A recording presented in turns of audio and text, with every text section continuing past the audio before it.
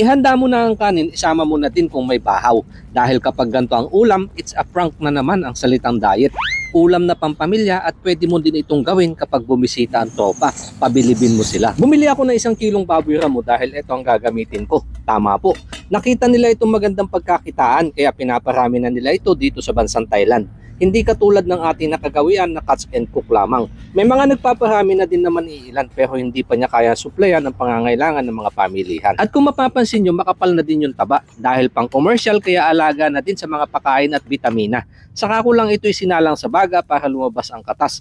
Mas sumasarap din kasi ito kapag nagkakaroon ng smoky flavor at naiihaw ng kaunti. 240 baht ang kilo sa laman o kaya naman naglalaho sa 380 pataas kung i-convert naman sa peso. Di hamak na mas mahal kumpara sa pangkaraniwang nabibili sa palengke na 120 ang kilo. Pero mas malasa ito dahil mas nagiging mature sila bago katayin, hindi katulad sa mga common na alaga na 4 to 5 months kinakatay na. Pagkatapos ko itong mahiwa, itinabi ko lang muna. Saka ako nagpainit ng mantika at pinakulayan ng aswete. Pagkalipas ng ilang minuto, sunod ko lang itong hinango. Saka ako nag-isa ng sibuyas, bawang, luya para sa aroma. At dito ko na din inilagay yung karne kasama ng pork cubes na pampalasa, paminta at pampaalat na patis. Patutuyuan ko lang ito ng unang katas hanggang sa masangkot siya. Mahigit 15 minutes na nakalipas saka ko ito binalikan. Lumabas na ang mantika at natuyuan na ng katas. Kaya dito ko na sinabawan. Lubog yung laman dahil mas makunat to kumpara sa regular na baboy. Papakuluan ko lang ulit hanggang sa mga lahati ang sabaw. At sunod ko namang inihanda yung pasahog ko na repolyo. Or pwede din sa ibang gulay na kung anong ibig mo katulad ng patatas, petchay, upo o kaya naman ay saging na saba. Pagbalik ko ng alahati na sabaw, dito na ako nagdagdag ng tubig. Yung gamit ko pinaghugasan ng bigas para mas lumapot at pinasamahan na siling panigang. Isa itong sikat na luto sa norte na parang kombinasyon ng paksiw at sinigang. Pero ang kaibahan ginagamitan nila ito na suka. Sakto, meron ako ditong stock sukang iloko. Sino ba naman ang hindi mangangasim sa tamis at anghang nito? Dito ko na nilagay yung spring onion at repolyo na panghuling sangkap. Tinakloban ko lang ito sa mahinang apoy hanggang sa yung dahon madampian na sabaw. Sa palayok ang pangkaraniwan nitong pagluluto. Pero pakiramdam ko parang aapaw yung sabaw. At saka dito mas may papakita ko na mabuti yung kulo. Kaya out of 10 mga anong numero ang ibibigay mo. Malimit na ginagamit dito yung regular na baboy o kaya naman ay baka dahil gumamit ako ng baboy ramo at marahil marami sa mga kanayan natin ang ngayon palang makakita nito sa taong 2024. Kaya tatawagin ko itong Lauya 2024. Napakabuti niyo po ang mahat isa na naman pagpapalang pinagkaloob niyo sa amin ngayong araw. Nilalapit ko po ito napasbasan na sa ganun magsilbi lakas sa pangatawan. Amen. Sabaw po, lapot. Sa usawan ko, yung sukang iloko din na mayroong kaunting patis, sili.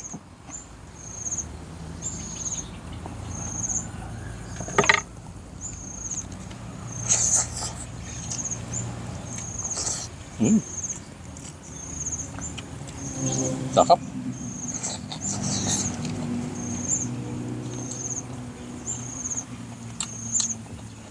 Ito po yung kanyang balat. Napalambot ko siya. Yan na po na. Ay! Ano? Kahit kuhutin ko, napupunit na siya. May asim na suka. May kasamang tamis nga din po dahil sa sausawan, alat.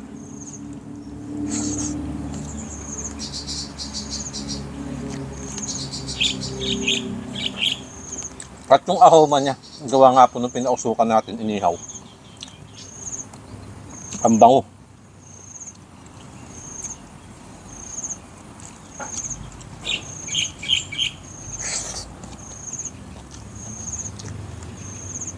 Ang sarap po niya sa kanin bahaw.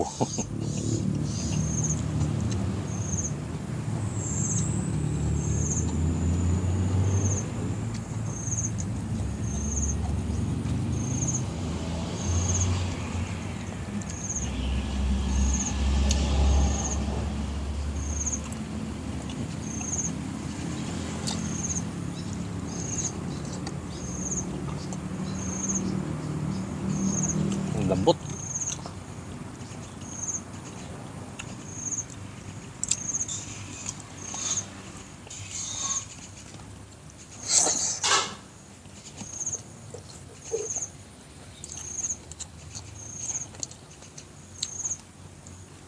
Natabi ko ho ng konti. Para may gitna ako naman itong aking sausawan.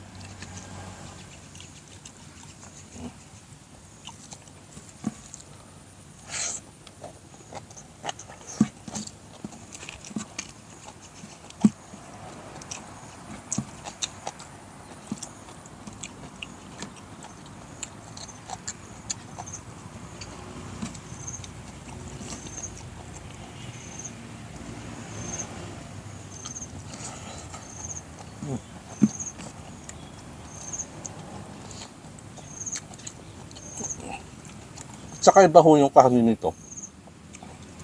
Hindi katulad ng pangkahanin ng baboy na pag Pinugot mo, makapal yung taba, medyo nakakaumay. Kaya ito hindi masyado. At saka gawa nga din ito sa sawan. Suka.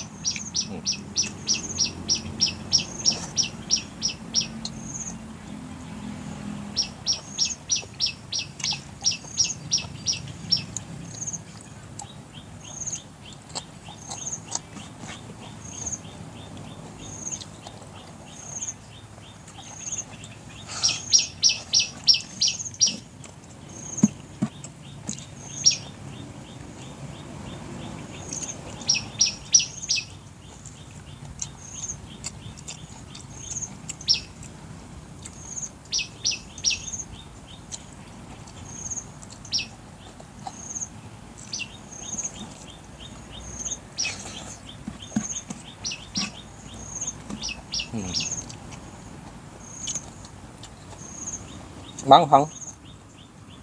Sabihin gustong gusto mo yung kinakain mo. Bagay. Hindi na naman no talaga. Pag kumakain na, labas na naman ng pawis.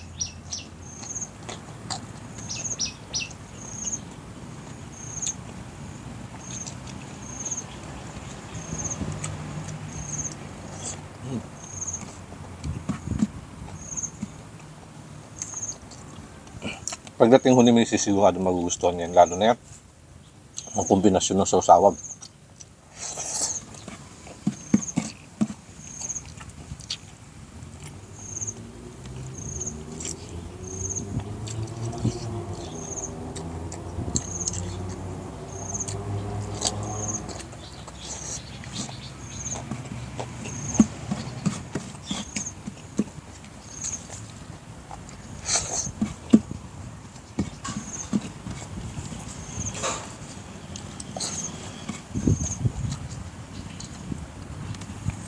Patitikman ko naman po kay Mrs. to.